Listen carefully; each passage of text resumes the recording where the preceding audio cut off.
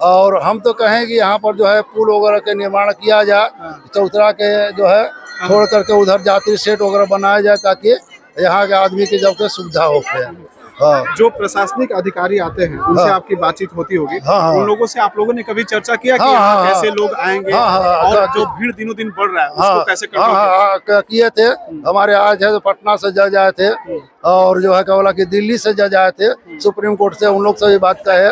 हमारे परनोल पांडे जी जो है यहाँ के जो पत्रकार है इनसे भी आग्रह किए।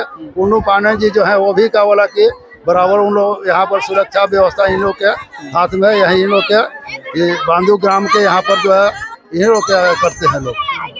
ठीक है आप मेरे साथ जुड़े रहिएगा। हाँ। एक बार हम थोड़ा सा दिखाते हैं। हाँ, हाँ। थोड़ा सा उधर जाने ठीक। आइए एक बार हम दिखा देते हैं आपको ये जो मंदिर है।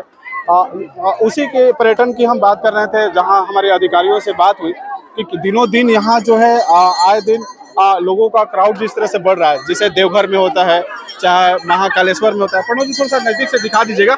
ये शिवलिंग के मैं दर्शन आपको करा रहा हूँ। और यहीं पे लोगों को दर्शन कर